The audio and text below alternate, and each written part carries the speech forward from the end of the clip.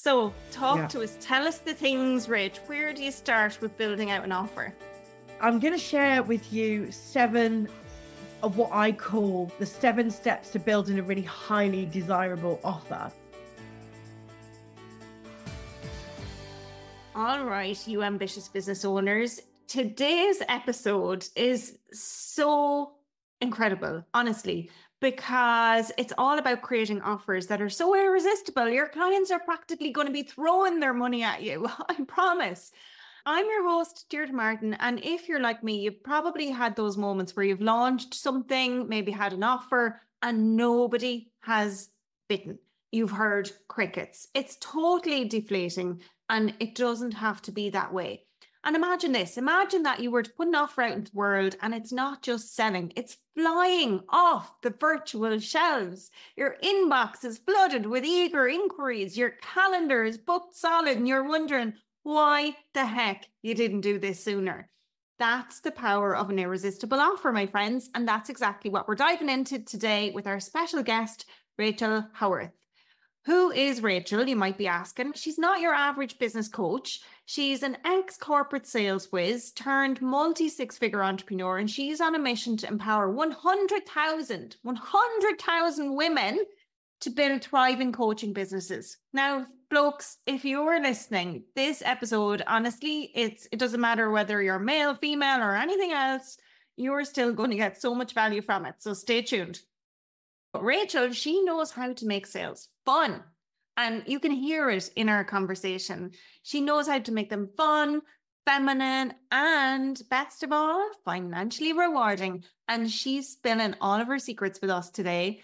We're going to be chatting about everything from uncovering your client's deepest desires to creating offers that literally sell themselves. So grab your notebook, get your favorite pen out, and get ready to transform your business into an offer generating machine. Seriously. But before we jump in, I've got a really quick favor to ask. If you're finding this podcast valuable, hit that subscribe button, leave us a review if you're listening on Apple Podcasts. It helps other really incredible entrepreneurs like you to find our little corner of the internet. And it keeps me motivated to bring you the best guests and advice, just like you're about to hear today. Okay, enough chit chat. Let's bring on the offer queen herself, Rachael Howarth. Rachael, you are very welcome. Thank you so much. Honestly, I'm so, so glad to be here with you. Thank you for inviting me.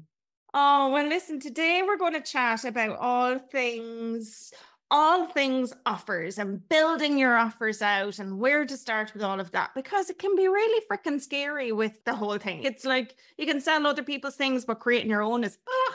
So talk yeah. to us. Tell us the things, Rich. Where do you start with building out an offer? I'm going to share with you seven of what I call the seven steps to building a really highly desirable offer. Mm-hmm. Before I share those steps, that I think the point that I would absolutely like shout from the rooftops to anybody who will listen is that building your offer is the like the number one step because I see so many people spending hours and hours and hours on social media and doing all the things, filming the reels, writing all the captions, researching all their hashtags, spending hours. I mean, we know how long it takes, don't we, to create content consistently. It is a never ending machine. Mm-hmm. And to do that without having an offer is literally wasting time and energy. I could not be more clear and direct with that feedback for, for anybody that comes into my world where I look at their bio and there's no offer, there's no link, there's nothing because the one thing I really want all the listeners to really get a deep understanding of is the fact that your audience is savvier, cleverer, more switched on than they ever have been, ever before. And that is because there is so much information out there. They love to research. So by the time that somebody actually reaches out and inquires with us, they've already done so much stalking of you that you don't even know that they're doing. And so if you don't have an offer, if you haven't got it in your bio, you haven't got it in your highlight reels if you're on Instagram or in your featured post if you're on LinkedIn, if you if you aren't putting your offer out there for people to stalk you on, you are literally wasting so much of the effort that you're putting into the content. So I absolutely want to bang that point home as much as possible because it's the most common mistake I see. You you must see it as well, right? That makes so much sense. I completely agree. And this is something that comes up a lot for me with my clients in Business Accelerator and even with some of the one-to-one clients I have as well. And we're talking about content strategy. And my question to them is, okay, so what is your business goal for this month? What are you selling this month? Because then we need to align your content with what your business is. But what does that really mean? Means what's your offer? So it makes so much sense. Yeah. I'm like, okay, I'm so pumped. Let's go. I want to hear these seven steps. yeah. How can you how can you create content that aligns with an offer that you haven't got? Exactly. And what if this is the expectation that we all need to go into content creation with? What if the content is so good that a handful of people reach out to you, maybe more, if you aren't able to handle that inquiry because you haven't set your price yet, you haven't considered whether you, you're going to offer a payment plan, or you haven't even named it yet, or you haven't structured, you don't have to have built the whole offer, but you haven't structured what the curriculum or the process or what the package involves. You haven't set all those things up. When somebody slides into your DMs to say, Hey, I'd love to hear more about your offer what if you can't answer them? and then the energy is all wrong because you're on the back foot thinking, oh, I need to create all this stuff now. And yeah, I'm absolutely like offer creation, number one thing.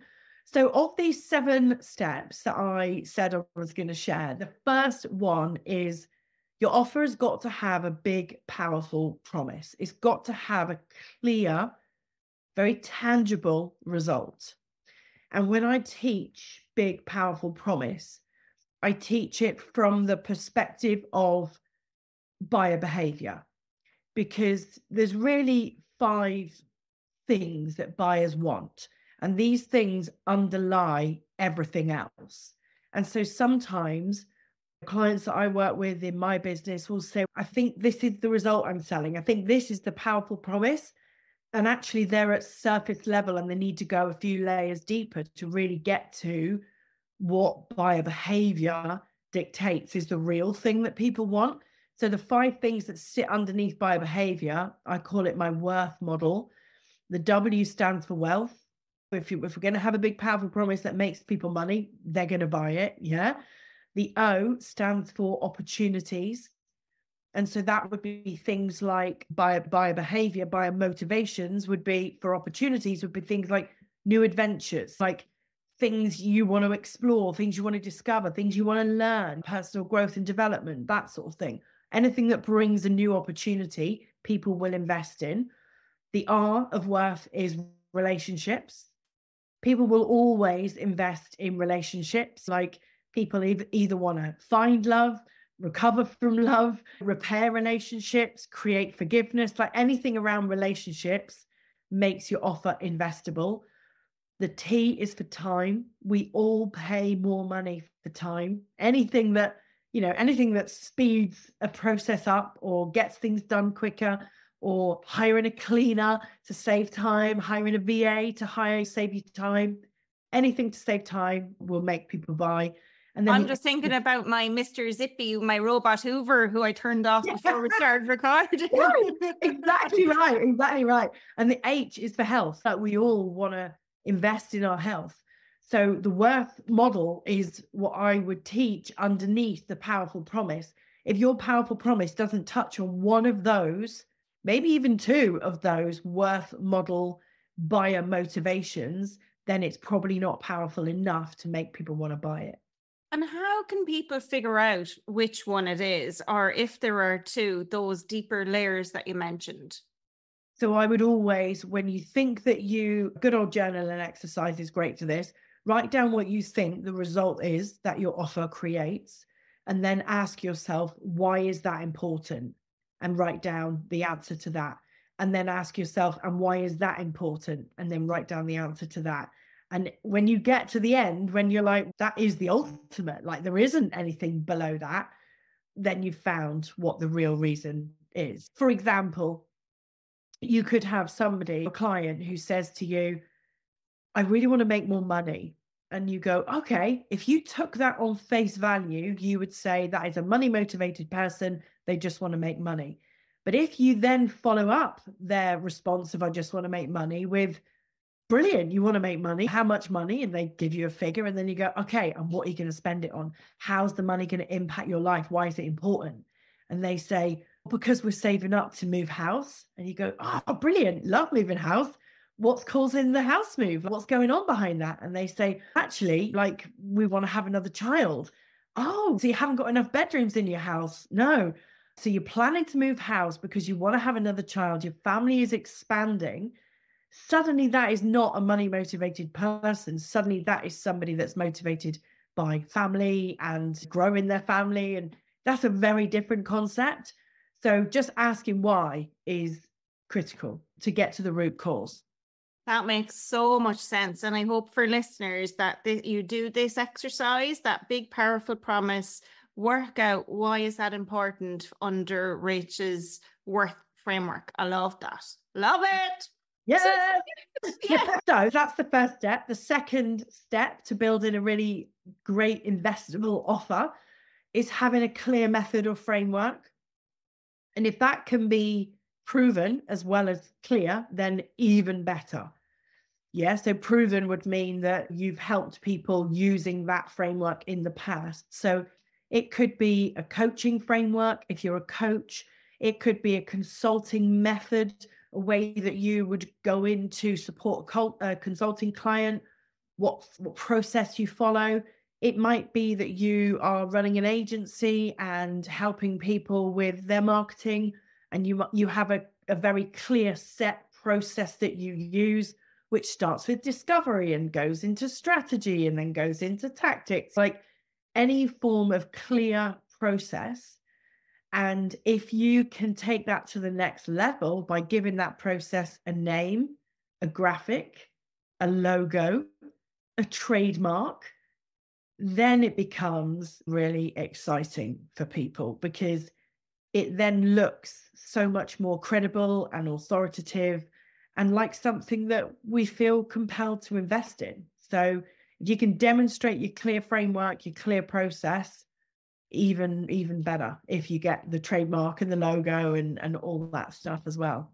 Okay, I get it. And I can see I'm picturing different things that maybe I've bought over the years. And I'm like, oh, yeah, I want a bit of that because the offer is that's part of the offer. It's not the entire offer, but I want that system that takes me step by step to get this result. Yeah. Yeah. Who doesn't want that? Exactly, because ultimately buyers want to feel safe. And from yourself, like I know from myself, when I'm investing in anything, it doesn't matter what it is, I want to feel that it's a safe investment and that I'm not wasting my money or wasting my time or wasting my energy with that investment. So to see that there's a clear, thought out process gives me a feeling of safety. Mm. And when we mm. feel safe, we're more likely to spend money. And when we feel safe, we're more likely to spend more money. So if anybody listening is selling high ticket, if you're not sharing your process, then start sharing your process and you'll notice high ticket buyers will be more likely to invest. Mm, that makes so much sense. And I see that a lot as well with clients, and I see it in my own business. Like the feedback I get is, Deirdre, we love that you give us the tools because they're step by step and we know what we need to do next. And it's, I think that's where people often get stuck, isn't it? Like the people who are not getting results is because they start spinning their wheels when they're not sure what to do next. But if the coach, consultant, service based business owner has a process, then that client, you just know, okay, you're just stuck on step number two. We need to, you need to do this bit, and then you can move forward into step number three.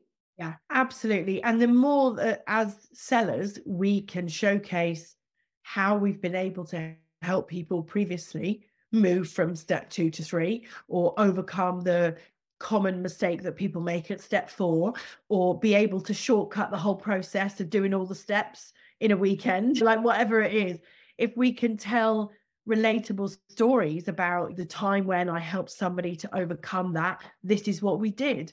Then that makes your particular offer really compelling for people and it positions you as that expert that you want to be seen as because when they know that this isn't your first rodeo, they feel even safer because it's like, okay, she gets it. She's done this before. Like, she is somebody that I want to have my arm around me because she can lead me to where I want to go.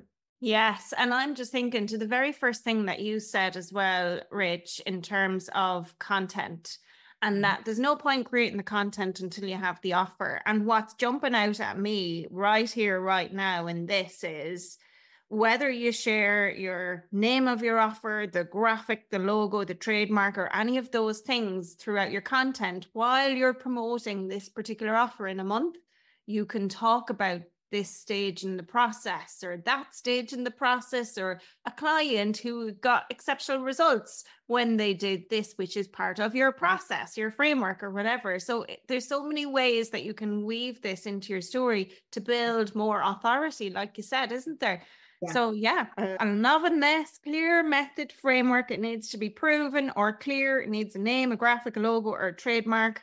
And then that's your framework or method. Yeah. Yeah. Amazing. Are we ready for step three? Let's yeah. so step three is in the building of your offer, it needs to be value for money.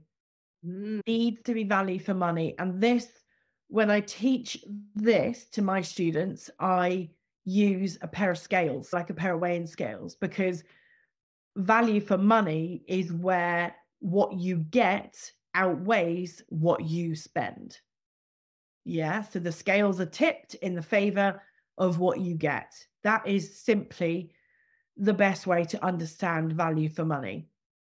This is so important, actually. And the minute you said value for money, like my brain lights up going, yay, I really agree with this. And there's a couple of things that that I that I want to talk to you about on this. The first thing, what you said there, what you get must outweigh what you spend. So the client is getting more than what they think they're going to get. And for me, this reminds me of is there is a value equation in customer experience that I've shared. I share this all the time it's where somebody is going to deem to have gotten good experience uh, good value if the experience exceeds their expectations. Yeah. So it's like you say on the scales so their experience needs to be the one that is pulling the scales down on the left hand side or, or yeah because it's been so heavy and action packed with value and then they're going to walk away with five star ratings. They're going to become those loyal advocates and all that aren't they? Yeah absolutely I for me, value is such a critical thing for people to understand because one of the areas where I do see people spinning their wheels is around pricing because it's such a common misunderstanding, a total untrue myth that if you price something low, you'll sell it faster or you'll find more people that want to buy it. People always think if it's low ticket, it'll be easy to sell that's not necessarily true. If it's value for money, it will be easy to sell. Yeah. And that could be something value for money that's a really high ticket offer, or it could be value for money that's a low ticket offer, or it could be somewhere in the middle, as long as it's value for money. And so, as buyers, where do we position value in our own minds? We position value at the price point. So, I always say, if I was going to take you for dinner tonight, which would be really fun. That would be really. If I was going to take you for dinner, and I said, Deirdre, it's on me. Let's go and have dinner. Choose between these two restaurants, and I showed you the menu, and you knew nothing else about the restaurants, but one of the menus, the starters were like a fiver, and the main courses were like twelve quid you would be like, okay, that one looks okay. Show me the other one. And that one had starters for 30 quid and main courses for 60 quid. Which do you think is the better restaurant? I would think that the more expensive one is the better restaurant. Automatically, we think that the more expensive restaurant is going to be the better. We think yeah. better food. We would imagine it to have a, a more salubrious, like interior and feel a bit more luxury and premium, that the service would be better. We expect all those things because of the price. You know, be careful, anyone listening, if you are of that mindset of, oh, sell it cheap so it sells easier. That's not necessarily always the case because value perception is at the price point. We perceive it to be better when it's more expensive. Doesn't always mean we can afford it or we want to make the investment. We still need the other things to make us want to invest. But it is a myth that selling low makes it easier to sell. Yeah, I completely agree. And it's so interesting. And like last week, I did some live master classes and I got people to work out what they want their revenue to be. And it was really funny. I'm like, I bet you probably 60% of you are going to say you need to put your prices up. And they were all like, yep, prices to go up, prices to Always. go up. Yeah, yeah. But Rach, something that I see happening quite a lot, and I do this, and I've been guilty of this, is that when I'm trying to give people value for money, the one thing that I consistently find myself giving them over and over again is more of my time. And the time is one thing that, you know, it's in short supply. So, how can people give more value for money without giving away all of their time? What do you suggest? I think the best way, and this is going to be the most helpful for anybody in your audience who is an educator of some type, a coach, a mentor, a consultant, a trainer, is that when you are asked a question, that you actually answer it twice. This is one of my rules of life. Yeah, I learned this way back in my corporate career, and it has always served me well when somebody asks you a question, and this goes for problem solving as well, when a problem arises, solve it twice. So when I say twice, once for the person who's asking it, because they're asking it to you for the first time. And then second, for all the other people in the future that have that very same question. So if we answer it twice, you would give the service and give the support to the person who is craving that from you but then you don't quickly move on to the next thing and forget that question was ever asked. You create a worksheet or create a resource or create a piece of training or an FAQs document or something that means that next time somebody asks that, you can signpost them to the resource. Yes, yes. It's so funny you say that. Last week I had my VA go into our community and look at all of the questions that have been asked and all of the answers I gave and to create an FAQ bank on Notion. And I'm mm-hmm. like, okay, that's content inspiration right there. That's stuff that I can include in my program. I'm like, there's so much value in that for sure. And Rach, another thing that comes to mind as well is that difference between a low ticket offer and a high ticket offer. So imagine that I've been selling my high ticket offer over and over again, and it's going super well. And I'm like, I'm oversubscribed and I can't take any more of those. And I'm like, okay, I want to create a low ticket offer, like a digital course that doesn't take time. And the goal would be, I'm guessing, and you can tell me whether this is right or wrong, but the goal in my view, where where or how I would approach it is that the people that I would sell that low ticket offer to would be ideal clients for the high ticket offer, but this is just a way to get them to start to engage with me. And I suppose the question there is how much do you give them in that low ticket offer so that number one, they get a result, and number two, that they feel, oh, this was only this much. I wonder what I get in that one. Where do you draw the line with value in, in that circumstance? Yeah, so I think the first thing for me with that is always that if the business model is built, and I do this because I build it on a diagonal line, like a lab, like going up the page. Um, if the business model is built fundamentally for the same person, but at different stages of their journey, then that's going to make this super easy. If people have got different i've definitely made this mistake when i first started my business. I had different offers were, which were actually for different people. So there wasn't that like natural evolution. If you've built your business model so that somebody could be in your world for free following you on instagram for example in your linkedin network following you for free they see something that you put out there that's a free resource. They then get led to maybe through a funnel maybe through some other mechanism they then get led to a low ticket course. Like I've got a course for £27, which gets sold immediately after somebody has downloaded a free DM script from me. So it's like, now you've got the script. Do you want the whole course on how to use it? And that's one of my most high selling courses. So if you've got that like natural evolution, great. And then they will naturally get to the high ticket offer when they're ready. As long as you are making it clear who each offer is for and at what stage of the journey they are going to be ready to buy it. But to come back to the point around what is too much value, you wouldn't sell a 27 pound course and give them all the resources that you would put in your mastermind. What you need to do is create the win for the promise that you made. So, step two, big, powerful promise. Whatever the promise is, you need to deliver that. And if you can go a little bit above and beyond that and say, here's what it would look like if we work together some more, or if we work together in a deeper way, or if we work together on this issue now, now that you know how to sell in the DMs, now you must want to know how to close sales calls. Yes. If we've built the business model right and we make sure that we've got that step two in place, the clear, powerful promise, no matter what price point it is, every offer needs a powerful promise. As long as we meet the promise and we go a little bit over it, then that's that's good for me.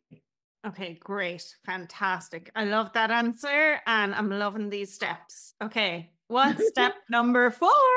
Yeah, number four is to have some sort of motivating bonus or incentive to help the buyer get excited about the purchase.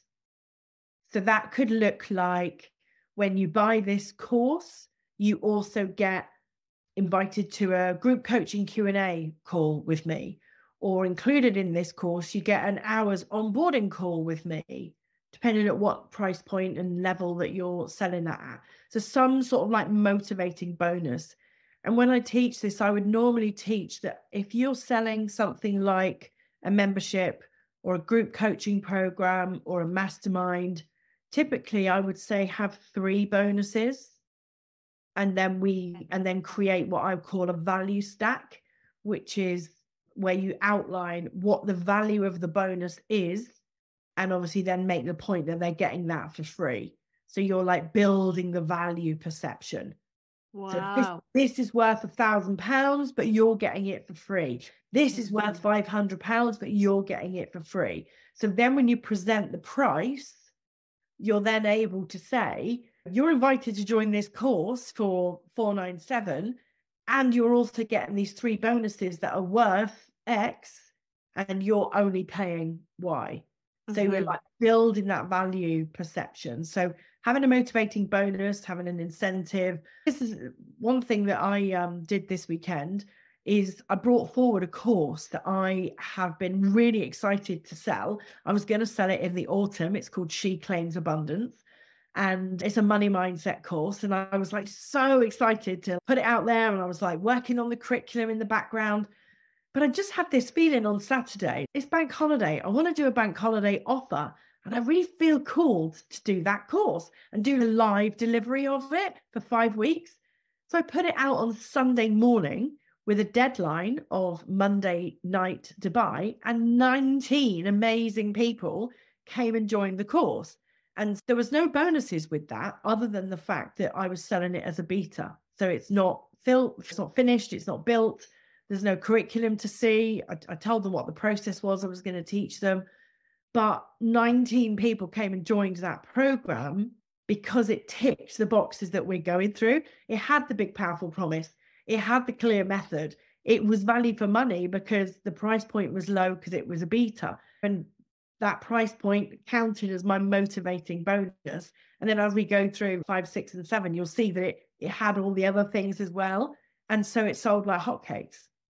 Love that. Sold like hotcakes. Fabulous. Yeah. yeah. I don't know what a hot cake is. Do you? We hear no, the I, I don't think I know either. Yeah.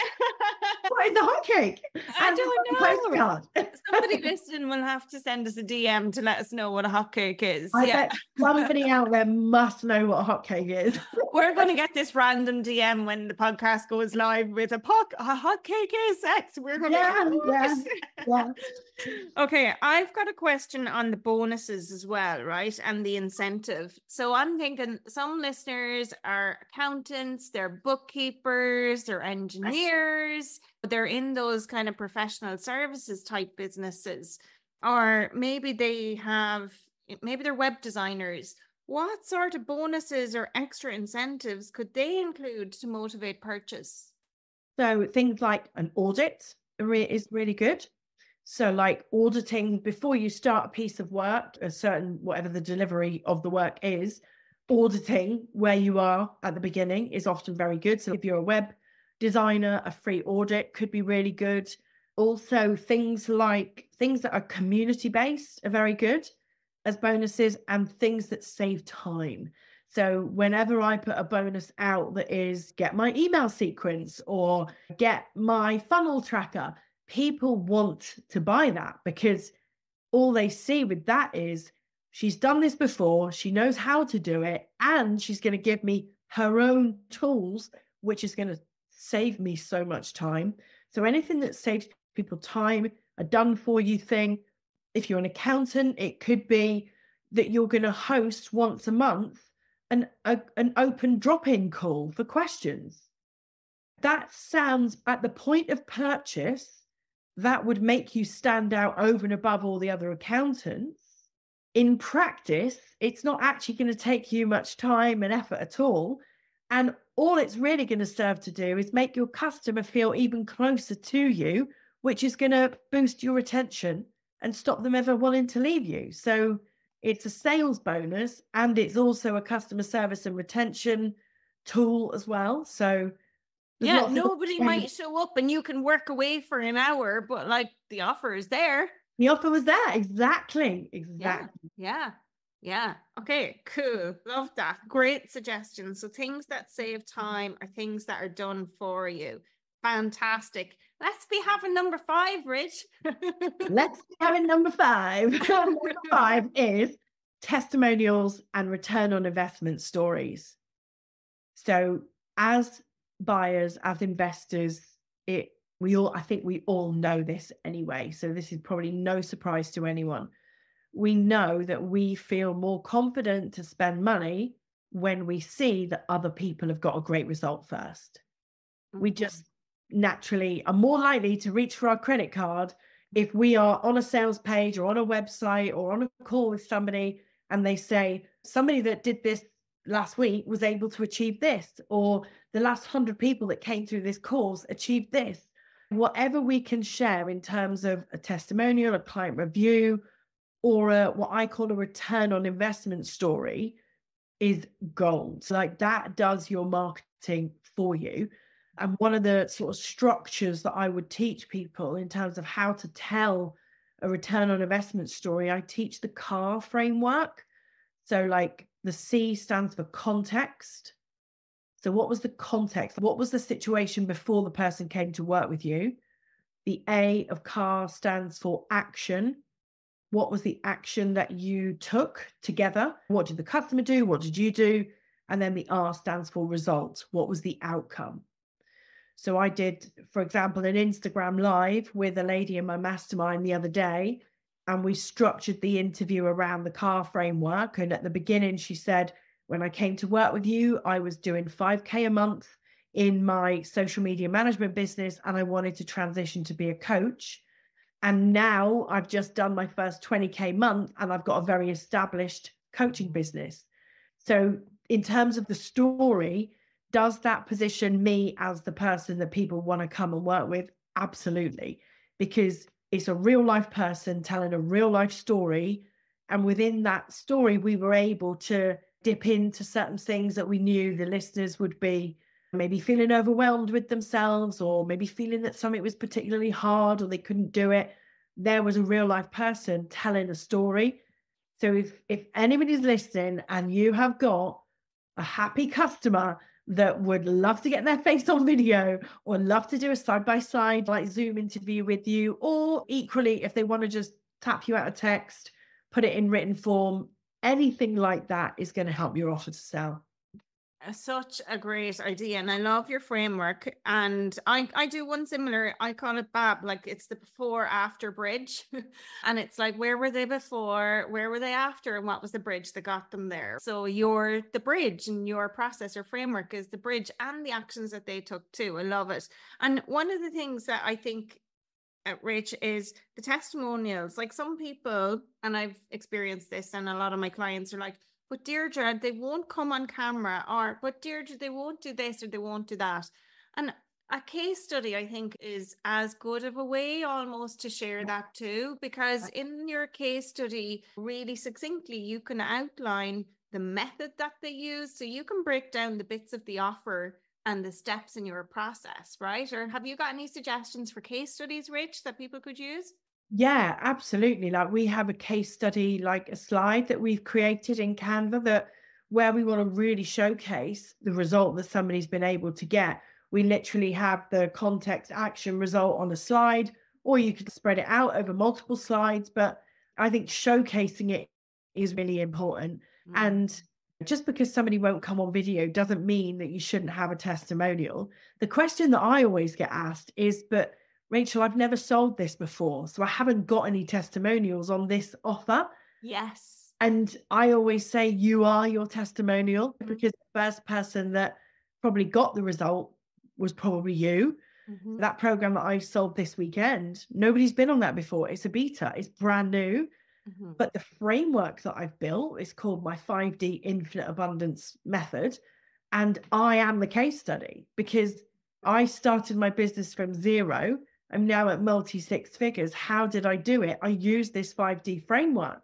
Mm-hmm. So it's a money mindset framework. I'm going to walk people through it. So the stories that I was telling were my stories. Mm-hmm. So you can be your own testimonial as well. That's absolutely okay to do that. Yeah. And I think testimonials you've gotten from other clients and other things are okay to use as well. And again, something you mentioned earlier is if it's a coaching framework, it's proven already, even if it's not yours and you've not done it before. Because if, if there's a clear method or framework, or if it's a consulting method and you've learned that somewhere, or and the place that you've learned it, they've been able to get results for other people, then it's okay to use that as well for because that lends also to testimonial and ROI stories because other people have gotten them with that framework albeit it may not have been you. That's not misleading in my view. Do you think that's no. misleading, Rach? No, absolutely not. One of the first testimonials that I used when I started my business was a snippet from a LinkedIn recommendation. Mm-hmm. And it was a really long recommendation that I wouldn't have published the whole thing. It was like really long. So I just took out the snippets that showed me as the person that I thought people would want to come and work with. So it wasn't in, even in relation to an offer, but I don't see that as misleading because people are investing in me, in you, in whoever. And yeah, I think it's very easy to get our little mindset gremlins working overtime on am I good enough? Should I be doing this? What if I'm being compared with somebody else?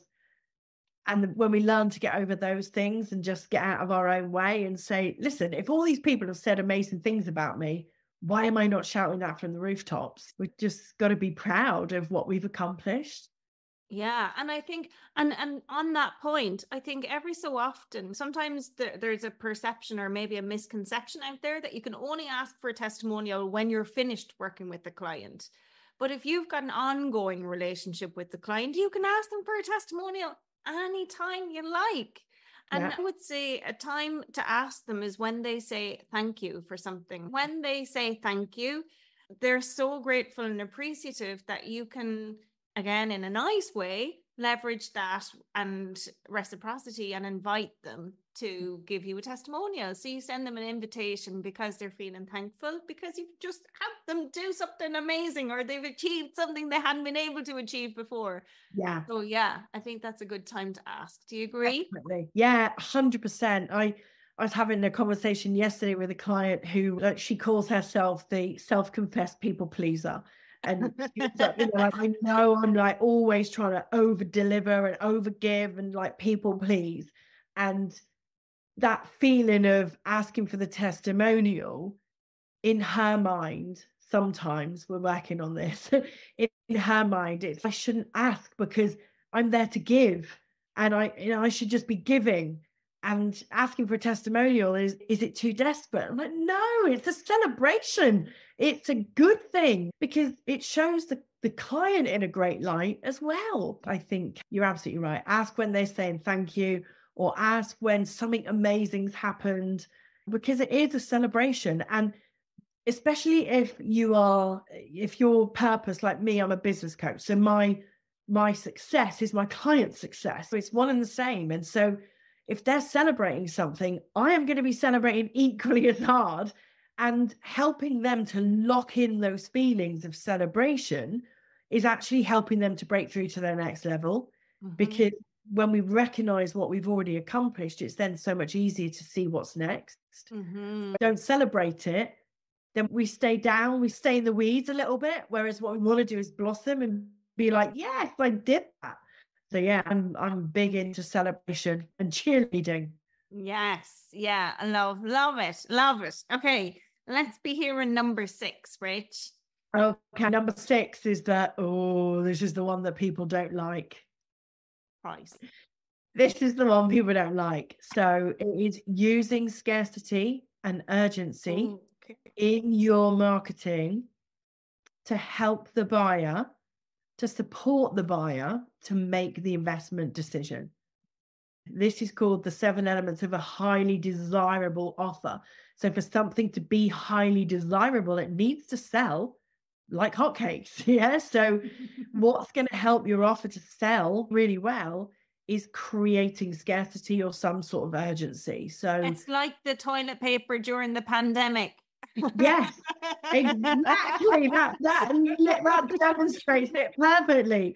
I, I often get met with resistance from people saying, "Oh, oh, it's a bit icky, isn't it?" I don't want to give people a deadline. I I don't want to say that there's only five spots available to create scarcity. I don't want to do that because it's not genuine and it's out of integrity.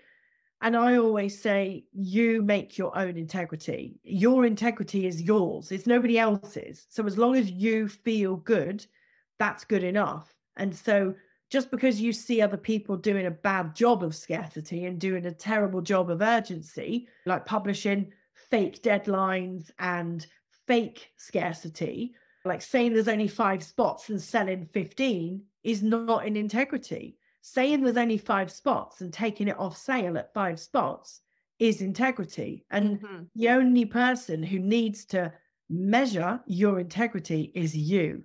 Yes. So if you feel it, if it feels good, do it. If it doesn't feel good, don't do it. What I know to be true though, and, and I'm sure you know this as well as a professional, as an experienced marketer, if you say that there is only so much of something, or if you say there's a deadline, people are going to want it even more. And that is a fact.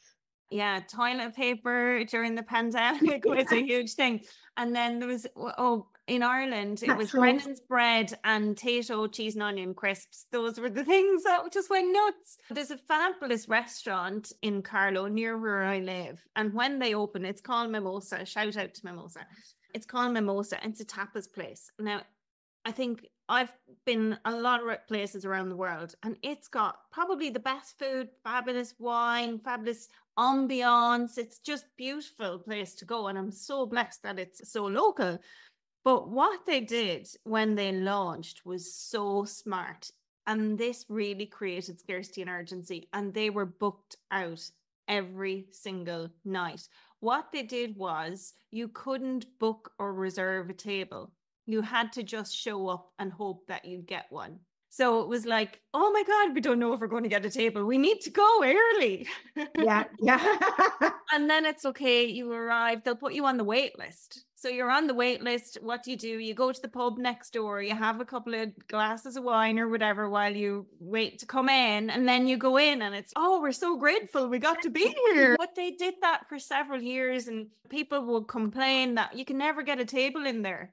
Why? Because they were fully booked. And yeah. it, it but when you got your table, you felt so grateful to get your table because they're always so fully booked. I didn't think about it at that time, but since I've learned more about marketing in the last three years, they're like a case study that I would use for how to get fully booked and to really include scarcity and urgency, but in a way that is full of integrity.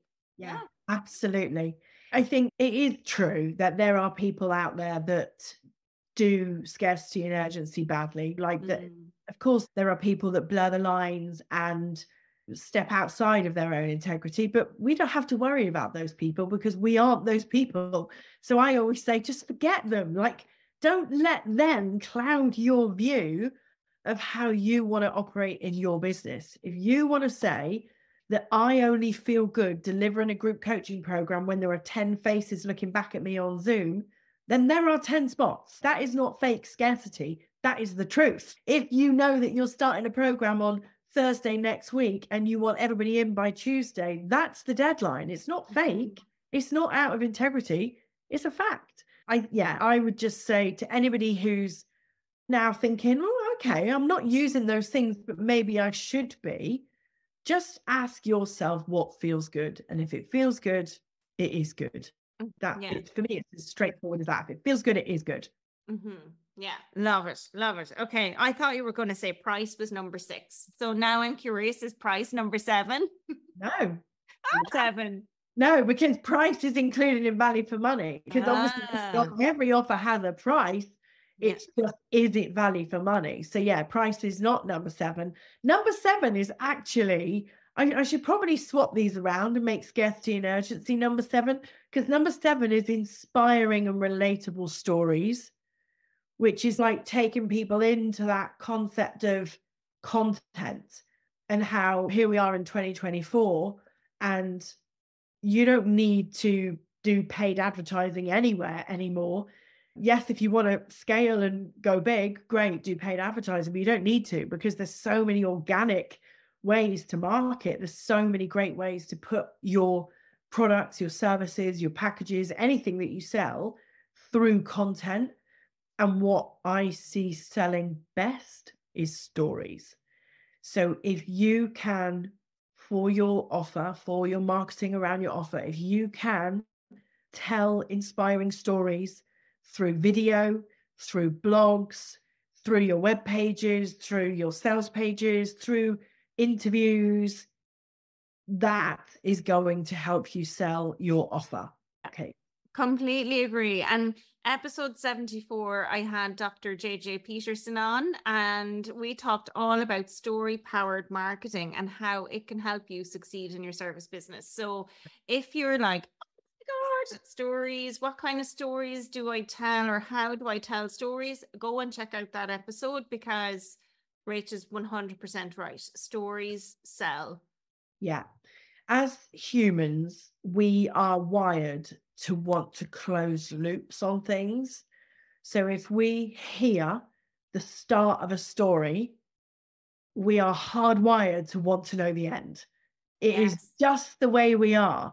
So, given that we hear so many tips on social media around have a great hook, whether it's a verbal hook in a video or a written hook at the top of the page or the first line of your caption, we have to hook people in. And so, if you're telling a story and you want to be able to get to the punchline, you've got to have a great hook that makes people want to feel that like oh, I need to know what happened. So open up the loop and then close the loop. But within that story, position you as the expert, if you are the expert in your business, position you as the coach, you as the mentor, you as the consultant, you as the service provider, and the offer. And if you can tell relatable stories, and they don't have to be promotional, they can just seed the offer. They can just mention the offer in a quite light touch way. They don't need to be hard and in your face. Mm-hmm. You know, mm-hmm. she bought this thing and you need to buy it now by Friday. It doesn't have to be like that. it can literally be just that I'm sitting telling you a story and saying, actually one of the ladies in my mastermind was telling me that and and i'm dropping in that i've got a i've got a mastermind and then later in the story i might seed what the topics are that we talk about in the mastermind i might seed some of the results that are being celebrated so i'm not actually i'm not hard selling it i'm just telling a story around it and if we if, if we could all get really good at stories, especially given that you've got a great episode for people to go and do that extra piece of learning on it, that's going to help your marketing tenfold, 20 fold, 50 fold, because we're hardwired to want to know the end of a story. I know it's so true. And last year I read a book and it, it told a story about a woman who woke up in a bath and the bath was filled with ice and she'd been in an airport or something like before. It was horrible. And what it was was it was an urban myth or legend, but I think it probably has happened. Basically, it was where she'd been drugged and abducted, and all of her organs had been taken out, and there was literally like. I'm like, oh my God, this makes me want to read more and see what happens. But yeah, the yeah. book was around virality in terms of your content and how to make your content contagious and how to make people talk about your stories. And I'm like, oh my god, I was so sucked in. I wanted yeah, to yeah, more. Totally. Yeah. I think, I, I I think that the word story gives this implication that it's I was born in XYZ hospital and after that I went to this school and that's not what we mean by stories like you can literally start and end a story in a tiny snippet of life it doesn't have to be your life story it can be a story about a client, a story about an offer. It could be a story about something completely separate to your business, complete like a like an ice bath with organs in it. It could be something completely random, as long as it creates the outcome that you really want it to create, which is wanting to know more about you, wanting to know more about what you do, wanting to know more about your business, your offers, and that creates fans, community, supporters. Yeah, I think stories is a bit is a big opportunity area for me. It's a big learning area for me because I I want to get a lot better at telling my own stories and helping other people to tell theirs. So yeah, it's a big thing. Fabulous. Richard, oh my gosh. Okay, so let me recap and make sure I've got the seven steps down. So, big, powerful promise, number one. Number two, clear method or framework. Number three, value for money. Number four, a bonus or incentive to create excitement and motivation to purchase. Number five, testimonials and return on investment stories. Number six, scarcity and urgency. And number seven, inspiring and relatable stories. Have I got yeah. them all? You've got them all. You've got them all. And I, the way that I see it, if your offer has got all seven of those things, it will sell. It will sell. It, it will, will sell. sell. It will absolutely sell. And Rach, if somebody is listening and they're like, I'm just not selling anything right now, things are just because that happens, right? Business ebbs and flows, and sometimes things are cyclical. Sometimes you have weeks, days, weeks, or months or quarters where you're just in in that stuck in a rut. What should they do to help maybe come out of that deep dark hole that they might feel in? So I would always say if somebody who has previously sold things and is then in a period of, oh, things are just not feeling good right now, I would usually say that is not about the offer. It's about your energy and your energetic alignment to the offer. Because I could show up anywhere and try and sell something, but if energetically I'm not excited about it, if maybe it's an old offer and I'm a bit bored of delivering it, or or it takes me lots of time and I really don't want to do it, like then there's an energetic misalignment there. And so take those seven steps and re-energize yourself around each of those seven things. And it might mean that you need to take your offer apart, work on the messaging. You might need to rename it. You might need to redo the curriculum. You might need to think about your delivery but somehow you've come out of energetic alignment to your offer. I, I think that's a really big thing, especially if you've previously sold it and then it isn't selling. It's mm. probably not the offer, it's probably you. Or it could be that the market has shifted massively. So a bit of market research would be a good thing to do. But usually I find it's about energy. Okay, so hopefully, if anybody's listening and you're like, offer, nobody's buying anything, now you know what to do. Come back and realign yourself with your offer and what you're selling. Because the more clients you help, the more money you make, the more money you make, the more clients you can help.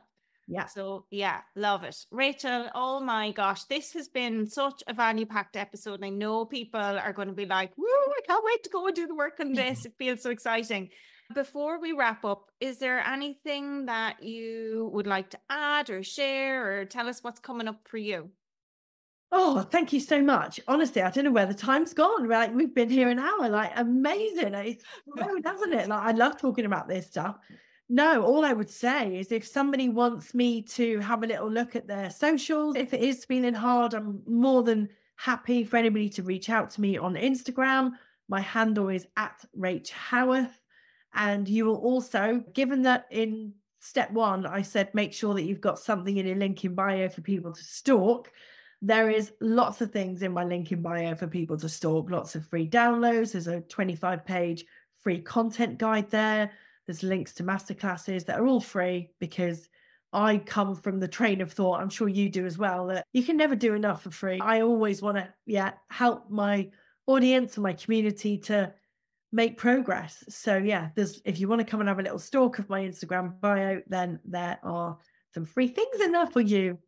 Oh, folks, don't you just love it? I talk about giving away the family farm. Rach is literally doing that. So go and check out her LinkedIn bio, her links in her bio on Instagram. And I'm going to drop her handle in the show notes as well. So you can click directly over. And yeah, Rach, you are Ah, fabulous. It's oh. just been such a privilege having you on the show. Thank you so much for joining us. Thank you so much for inviting me. Mic drop. Rachael, you've absolutely blown my mind today. And let's recap on those seven golden rules for creating irresistible offers in case anyone didn't get my quick summary a minute ago. Okay, so number one was big, powerful promise, where you need to know your client's deepest desires and make a promise that speaks directly to them. Number two, a clear method or framework. So you show your clients exactly how you're going to deliver on that promise with your proven process. Number three, value for money. Over deliver, tip that scales in favor of value so your clients feel like they're getting the deal of the century. Number four, bonuses and incentives. Sweeten the deal with irresistible extras that make your offer a complete and utter no brainer. Number five, testimonials and return on investment stories. Let your happy clients do the selling for you with that powerful social proof. Number six, scarcity and urgency. Use these tools ethically to encourage action and create excitement around your offer. And number seven, inspiring and relatable stories. Tell stories that connect with your audience and leave them wanting to learn more. Now, folks, homework. My clients love it when I give them homework, so I bet you guys do too. And that's a joke. But do you know what? I always used to say when I was in school the real value every day was not in the study that I did, but it was in the homework that I did. And that was where I learned and I remembered things. And when I did the work, that was where it paid off. So, what I want you to do is pick one of Rachael's tips and implement it in your business this week. Don't let this knowledge go to waste. Honestly, there's so much value in what everything Rachael shared today. You should not let this go to waste. And folks, if you love this episode, don't keep it to yourself. Share it with your fellow entrepreneurs. Tag us on social media. Let's spread the love of offer building. And your shares, your reviews, they're really what helps us keep this podcast going and growing. Plus, it's a great way to pay it forward and support other business owners too. So don't forget to check out Rachael's website for a treasure trove of free resources, actually, her Instagram rather, and you'll find them on her link in bio. So be sure to follow her over on social media for even more valuable tips. And until next week, keep mastering your business. Bye.